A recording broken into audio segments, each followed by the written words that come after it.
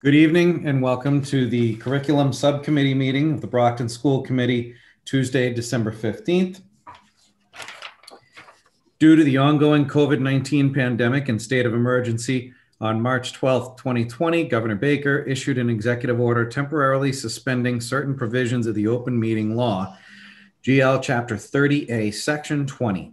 Pursuant to that order, public bodies are temporarily relieved from the opening meeting law's requirements that meetings be held in public places, open and physically accessible to the public, so long as measures are taken to ensure public access to the body's deliberations through adequate alternative means. This meeting is being will be held and will be accessible to the public via Brockton Community Access, Brockton Public Schools website www.bpsma.org, YouTube, and Comcast Channel 12. The public can access this meeting via the following link www.youtube.com forward slash the Brockton channels. Uh, before we start with our agenda for the evening, I'll do a roll call to establish a quorum. Uh, let's see. Mayor Sullivan, Agostino is here. Ms. Asack. Here. Mrs. Mendes. Here. Mr. Minichiello. Mr. Rodrigues. Mrs. Sullivan. Here. Mr. Sullivan. Here. All right, thank you very much. We have our quorum. So for tonight's curriculum subcommittee meeting, um, our first item is the presentation of school-based strategic improvement plan at West Middle School. Um, and then item number two would be any other business to come before curriculum. Um, I know we have uh, a couple of folks from West with us this evening. Um, and I believe uh, Mrs. Saber McGuire, you wanted to uh, uh, start things off and, and make a few comments before they start. Yes, thank you, Mr. D'Agostino. First of all, good evening, everyone. And I know that the superintendent does expect to join us before the end of the meeting. So let me start by thanking the West team for being here um, this evening. We know that the team at West has been so committed to the work of sustainable improvement planning for the past few years. And, and the commitment of your faculty toward this work hasn't faltered even through this pandemic. Um, and I've said previously, and I'll say it again this evening, uh, that tonight you'll hear from uh, the West team the common thread that exists throughout all of the turnaround or sustainable improvement plans. And I think tonight might be your 10th uh, school presentation.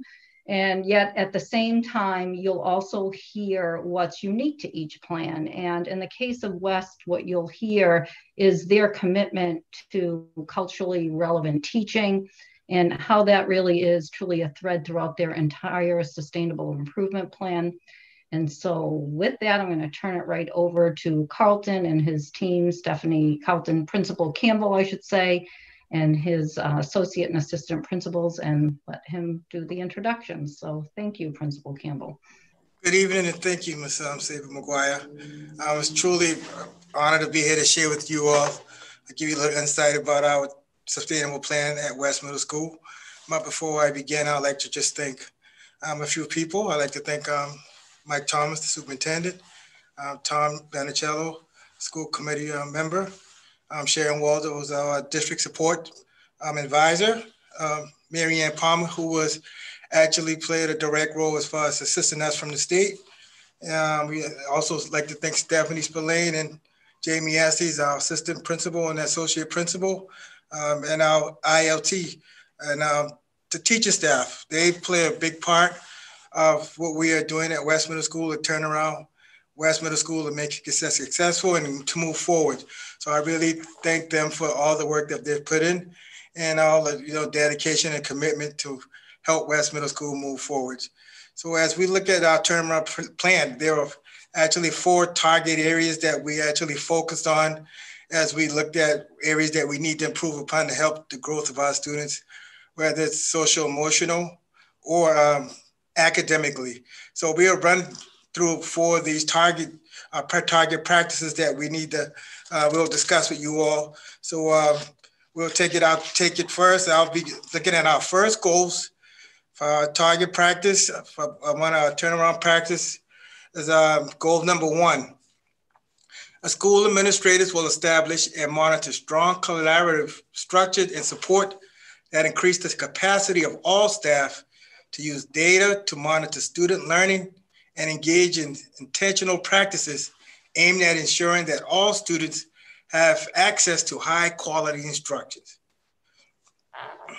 And with that, actually, uh, some of the benchmarks that you look at, I think um, we have, as we move forward because of the COVID, we had to uh, uh, revise our turnaround plan. And with some of the areas that we kind of focusing on, as far as some of the benchmarks, is um, technology. Um, so one of the things that we kind of focus on is how to use Schoology and how to use uh, Teams. So we wanted to become have our students and staff become more fluent as far as using um, tech, um, the technology that they were given. So that then that did include um, Schoology, Clever, um, Teams, um, and other software that was included. So these are areas that we concentrated on. And um, the next slide is um, some of the, uh, we had a tracking a tracking system to actually help track students, um, attendance, and academically for academic support. So all staffs in the building have access to, and we can work collaboratively um, to ensure that students are keeping up with the virtual learning. And uh, we have made strides, um, to say the least. Um, we have made leaps and bounds since the spring. So I think we are headed in the positive direction. And then at the beginning, it was kind of frustrated and kind of tedious, but everyone seemed to adapt pretty well and kind of move forward in this area. So uh, we really thank our staff for that. Um, so they, you know, and, and, so we have done a successful job as far as you know tracking students, and this uh, and this tool actually helped us um, and to monitor and to keep daily tracking or weekly tracking of students that need more attention, whether it's through academic or um, attendance support. And right after, I'll turn it right over to uh, Mrs. Estes, our associate principal. Good evening, everybody. Can everyone hear me? We hear you. Okay, excellent. I had my AirPods in to connect to my phone. So, okay. So, uh, goal number two is that all teachers will work collaboratively to develop and incorporate common high quality, data driven, standards based classroom practices that promote rigor and higher order thinking across the curriculum. So if you look on the next slide, our benchmark one for goal two was by the end of October, all PLC meetings are facilitated using PLC protocols. So you can see there's a slide there that shows all of our PLC groups within teams. So not only are we using our um, benchmark for goal one. Um, we're also putting that into goal two. Um, so each PLC has their own team, and within the team is uh, the agenda for each PLC meeting and any files that the team might need, um, as well as the meeting location link. So everything is all located in one spot, which is really, it, it's a helpful tool for everyone involved. So um, that is goal two, benchmark one. Sorry, next page. so you can see an example on the next page of a sample agenda. So for every agenda that we have, we let the staff members know what the meeting norms are, and those have been previously discussed within each meeting. So the norms are, are listed there and any materials that the staff might need always it's laptops for remote learning. And then below that is the agenda the items to discuss for the day.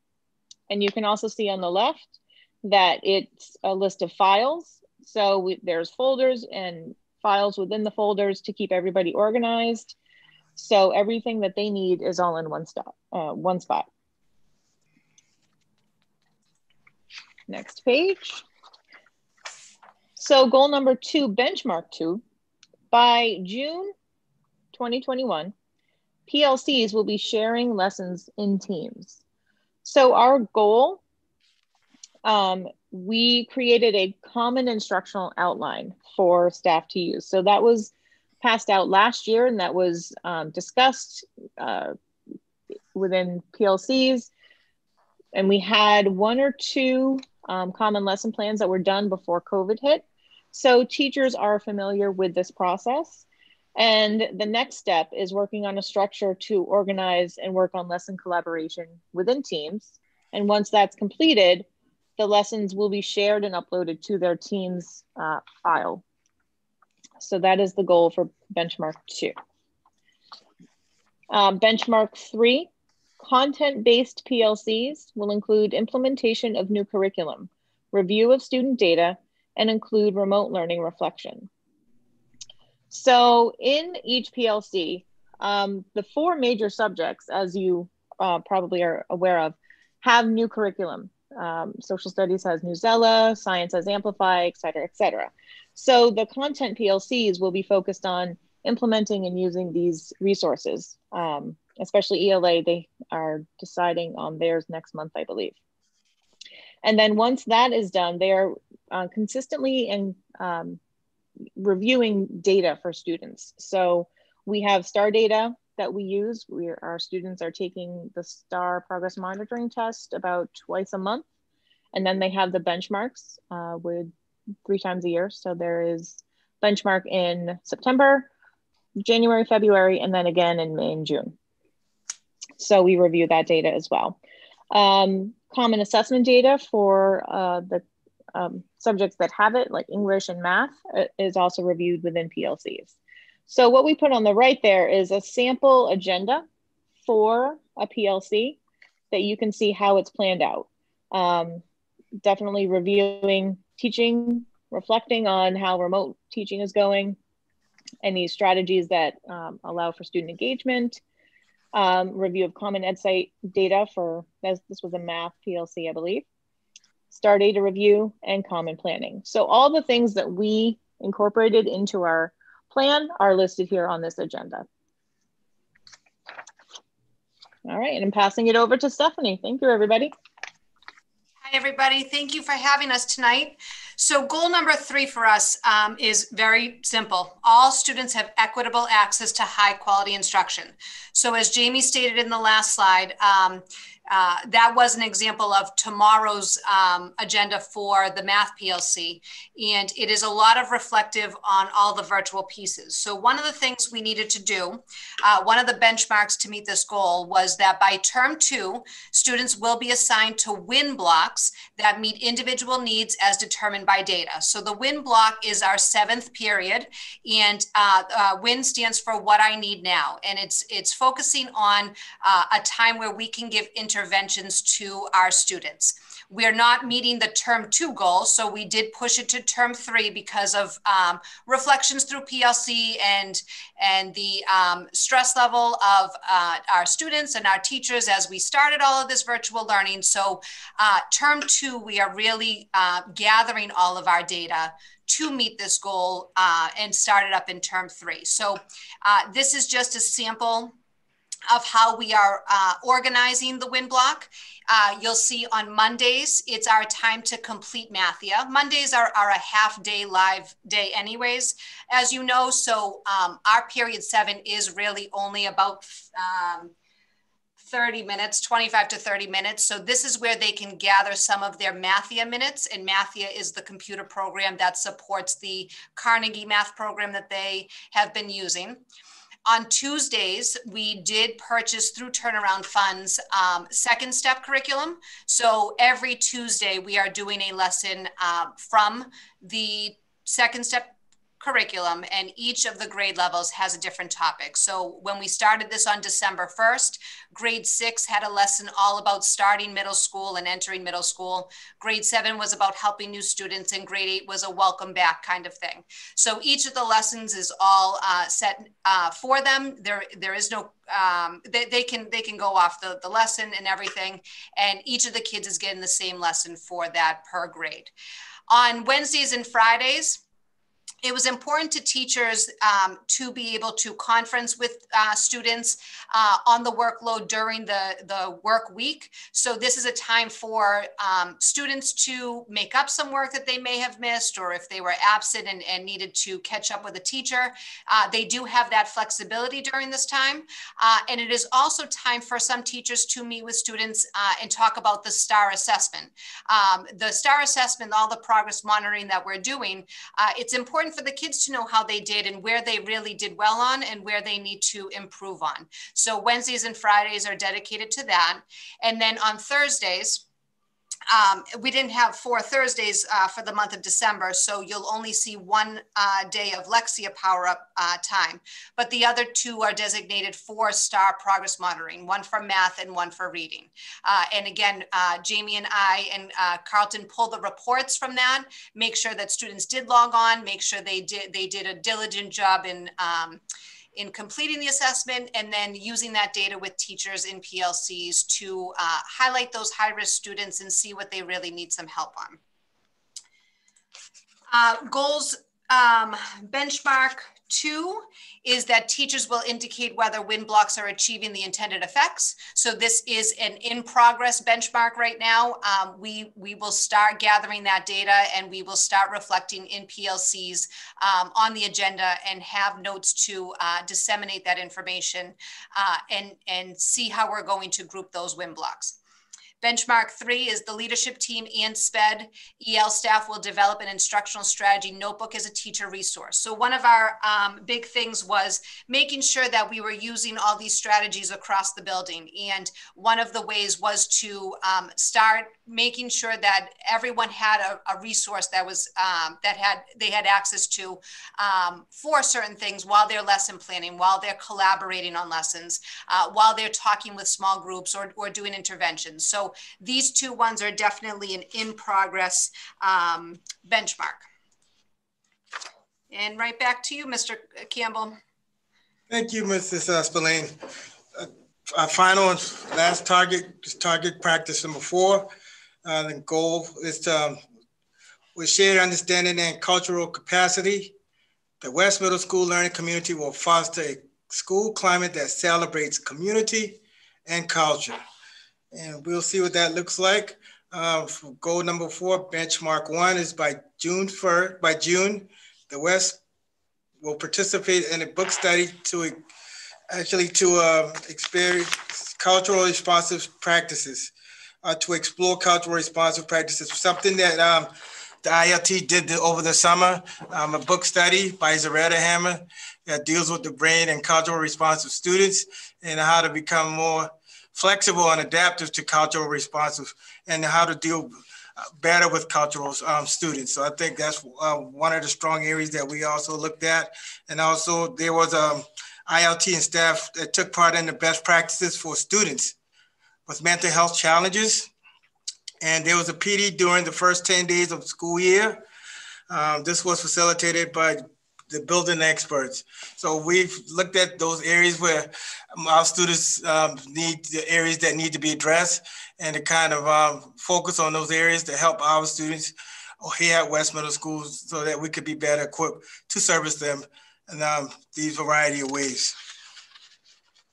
And as, as we look, uh, at music and culture. Uh, the music, one of our teachers have decided to implement music into um, her classes, and hopefully this can reflect through all of her classes by making it, making it multicultural. Um, by having students share a part of who they are, a part of their family tr traditions and background, as far as you know, and being incorporated in schools. Um, so this is a way that we hopefully can incorporate through music throughout the school and um, students can feel included in um, all types of ways, not even with um, the music, but also with our text. Um, so I think these are ways that we're looking to be very um, cultural and to reach out in a variety of ways to students from different all from all different walks of life. So I think these are very important areas that we can help students to feel that they are part of the West family and we understand where they're coming from and we can relate to those students. And I think those are key to be able to relate to different culture and also to have a different a sense of respect and it's different beliefs about different, you know, people's experience and background culture. And goal number four, benchmark two, um, teachers will show increased growth mindset by using the equity, diversity, inclusion checklist. Uh, we will use this checklist in January and teachers will uh, save the information from the fall and they can reflect then and also in June. So we'll take a look at some areas like professional practice. Um, have I spent enough time reflecting on how my own implicit biases have influenced, uh, impacted my treatment of my students, my colleagues, or families?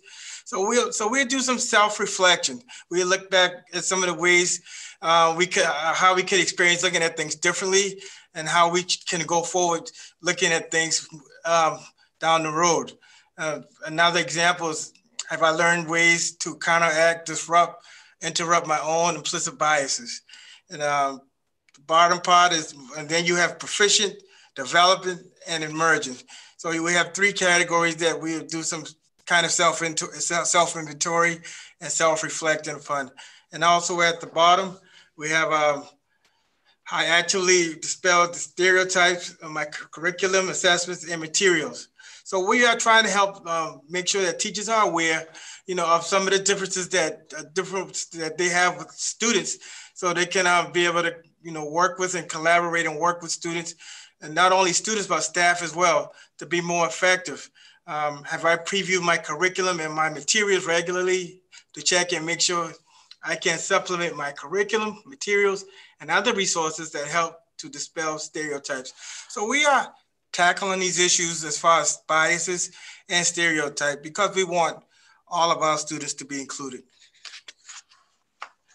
Um, benchmark three, um, students um, positive response will increase on school survey. Um, there will be, um, we will do a vocal survey for all students and that's to get a feel of the climate, what the climate is like. Do students feel safe? Do students feel comfortable? Uh, do students feel like the school has their values at hand as far as they're talking about their cultures? Are they feeling included? So this is kind of the survey that kind of give us a brief rundown of how students feel about the schools that they attend. And I think this really helps us. Um, it kind of could address some of those issues that students are having. I mean, we'll do that in um, February, hopefully by the end of February, um, vacation, and also at the end of the school year. And then we have um, goal number, uh, my benchmark number four, um, students engagement and participation in online learning will increase to 80% um, by 6-15-21. So I think we have started to head in the right direction. I think we've been very positive. Uh, the participation rate is up now, but we would like to get it to be consistently at 80% so that all our students could, uh, and one of the ways we will do this is we will have a call log uh, we can reach out to parents and make sure that they're playing a part. And we also, uh, you know, do home visits as well. Uh, so when we look, next slide, please, Mrs. Uh, Spillane. So one of the areas that we try to look at is uh, trying to keep parents engaged. Uh, I know this is a, this technology, this virtual learning, remote learning, whatever you want to call it, is new to a lot of the parents that's new to um, a lot of the students. Um, they still have to develop the skills and the know-hows to use virtual learning. So we try to keep parents in the loop um, as well as other guardians to make sure that they understand what's going on, um, even though they may not know how to use the technology. So they can, and then one of the things that we try to look at is areas that, you know, we can help them be more involved with by having characteristic traits of the month, like responsible, kindness, respectful, flexibility, adaptability, critical thinking. And, um, you know, as we look down the list, you see um, in February, March, April, May, and June, it goes right on down the list as far as, you know, acknowledging some of the characteristics that students have developed throughout the month, and they are being rewarded for that. So uh, we do take the time out to go out and visit homes and give out these certificates to students uh, to acknowledge their achievements. So that's something that the administration administration team does uh, do during the months. And we have done it in, uh, I believe, in September and October. And hopefully we'll be doing it again soon in December. So we try to make sure that parents are involved. And hopefully you can see that in our next slide um, as you look at our newsletter. So we try to stay in the in crowd. We try to stay up as far as you know, keep staying in the loops there with the social media aspect um, during these times to make sure that we kind of keeping kids involved, parents involved, and the know-how and you know what's going on. So I think these are all key, whether it's Snapchat, Facebook, whether it's uh, you know we have our own school page. We try to keep it up to date, and we try to make sure that people are active. And we also want to acknowledge our students as well as our staff about the great work they're doing, and we want to commend them, everyone at this time, because we know it's not easy and it's a challenging time, but we are getting through this. And um, and I commend, like I said, I commend my our team, our staff, our parents, our students. They have been doing an awesome job during this process, and um, I want to just continue to, you know, encourage them as we move forward and with this term 21st century learning. Um, it, it, came a lot sooner than I anticipated. So, but it came and uh, we are adjusting. And I believe we have, like I said, made leaps and bounds as far as using the technology and adapting and making people feel more comfortable with the technology that we have used. So these are the target areas that we have decided um, chose um, during this um, transition with the COVID. And um, like I said, um, it's an honor to do this, and we want to just you know keep moving forward. Uh, we don't know what tomorrow holds, but we know that whatever it is, we can overcome it. We have the tools, we have the people, and you know, it's great to be with a great staff, a great team to make sure that our kids are succeeding right in our my hometown. So I, I love what I do. I love the opportunity that we had to be a part of this turnaround process, and hopefully we continue to uh, strive for excellence and to be better um, even further down the road. So we thank you all for your time um, that you have given us, and you know, any questions you may have, feel free.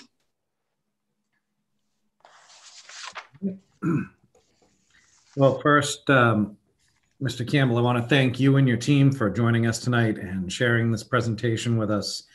Um, and, uh, you know, your entire staff at West, we know that, you know, there's a lot that goes into the work you're doing and, and the committee certainly appreciates that and recognizes the significant effort and work that, uh, that, you know, you guys are putting in. Uh, a couple comments for myself and then I'll, you know, uh, give the, mem the members of the committee an opportunity as well. the other members, I should say. Um, two things that I just wanted to comment on that I, I thought were important under professional practice. Um, I love that you, you know you talked about that self-reflection um, piece um, under professional practice. That's so important, and with some of the everything going on today, probably more important than than ever. And um, so I was glad to see that that's that's a part of of the professional practice uh, component. Uh, and it's it's tough to do you know, for anybody. Um, so, um, and then the other thing when you talked about participation, and that's something that that this committee has been um, watching closely and very concerned about, as I know that all of us are, uh, especially with COVID and remote learning and just everything. Um, so I was glad to see that you know you're you're watching it and and also much very importantly you have a plan of what you're going to do to try and and get more engagement and get parents involved in the home is you know you have a, a plan of, of, of action to to do you know to work on that. So uh, i definitely uh, appreciate that and Thank you. comment on it. So um, with that um, i'll open it up to uh, comments from other members of the committee. Does anybody want to comment or question? Um, mrs mendes please the floor is yours Hi, um, thank you for that presentation. I actually, I think you're the only school that I think I heard has an Instagram. I think that's so like the times that we're living in now, especially virtually. Um, I really enjoy hearing about the tracking system and the PLCs and how teachers are sharing resources with one another, especially among grade level. That's so critical, that collaboration. I guess I just have a wonder so um, I saw that you guys are using data to be able to make the win blocks to see like what students need. I was wondering, is there any data to see um, if we can make blocks where we're challenging students, like students that are actually advanced, where we're advancing them or challenging them? So um, with that, interventions, I um, it's not only interventions when students are falling behind. We do want to use that data to um, to enhance the curriculum for students that that are ahead of the game too. So when we do look at data, we will group them um, according to whatever needs for that student. And if that need does show that um, there are, there are groups of students within grade levels that need something more than the curriculum um, grade level wise that they're in, we will definitely um, that is an intervention. So so um, it, it will be that end too. Thank Great you. question. Thank you for that. Thank you, Cynthia. Anybody else? Mr. Sullivan, the floor is yours. Thank you, Mr. Carlton, uh, Mr. Campbell.